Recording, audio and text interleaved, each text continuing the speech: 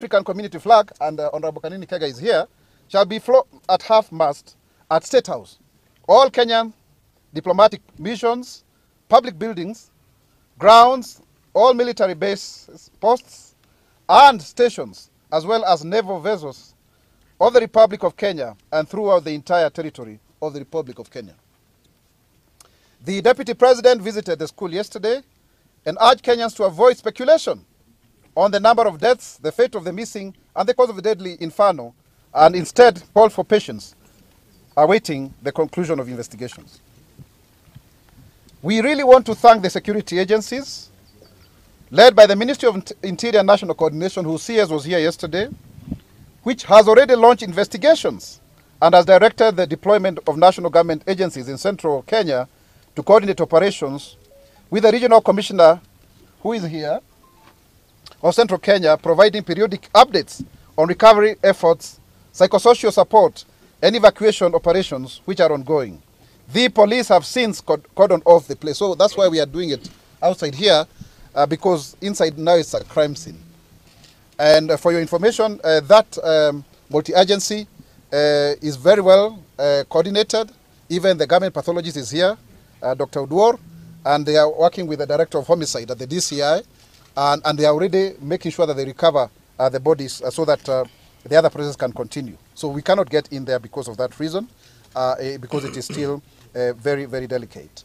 But also to say at this point in time that we have a main committee at the county level, led by the regional commissioner as the chair, with the county governor of Nyeri, Honorable Mwalimu uh, Kahiga, uh, also who is a teacher by profession, uh, co-chairing that as well. And then there will be a day-to-day committee here, as directed uh, by the CS for Interior and His Excellency the President, uh, that uh, we will have the DCC now chairing the day-to-day operations of this, uh, of this uh, uh, whole operation. We are very keen as government, and the CS will be speaking, to ensure that normalcy returns, even so that those who need to continue learning can continue. So the DCI and the government pathologist have been here and are still con conducting investigations and scientific analysis. Their tireless efforts in uncovering the truth is commendable. However, this will take time and therefore they will continue to work diligently to ensure that the country gets the root cause of this tragedy. Uh, on the Ministry of Health, I think, uh, let me leave, uh, Waziri will explain further. But when it comes to the Ministry of Education, uh, I beg your pardon, the health professionals have been on site here from the MOH, uh, from the Na- uh, Pub- National Public Health Emergency Center, and their efforts are focused to ensure that all of the injured receive the necessary uh, medical attention, and they have helped facilitate transfers and have airlifted those in critical conditions. Unfortunately, one of the boys we lost, we lost him.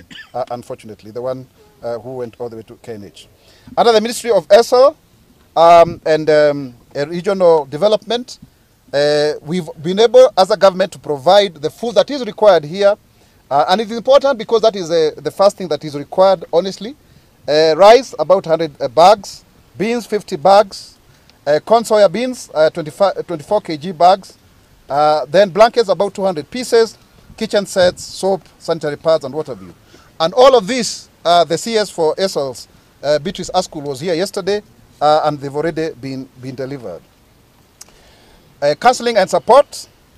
Disaster response agencies, including the National Government Admi- uh, Administrative Officers, NGAO, the Kenya Red Cross, and the National Disaster Operations Center, who are also here, are working in, to coordinate support for the affected parents and the school community, offering aid and counseling services.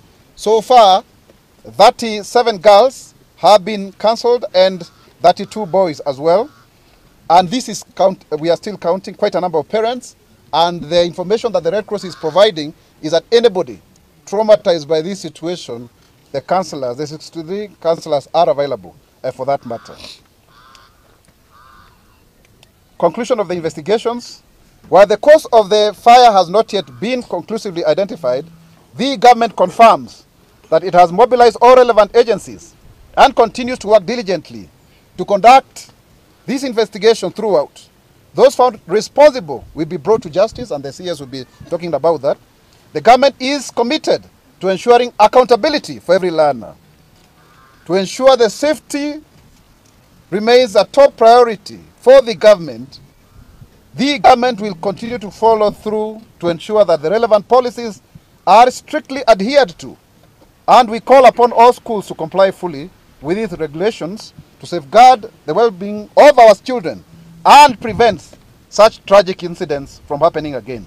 Once more, to the bereaved families, poleni sana na Mungu awalinde. We shall be giving daily briefings uh, so that then we can get it in written format. So we shall release this uh, statement shortly. But before that, allow me to uh, welcome Joan from the Office of the First Lady to make a comment. Well, later, later, later, later. You'll come at the end, yes. It's Joan. Thank you so much. I'm here to just convey deepest condolences from the First Lady of the Republic of Kenya.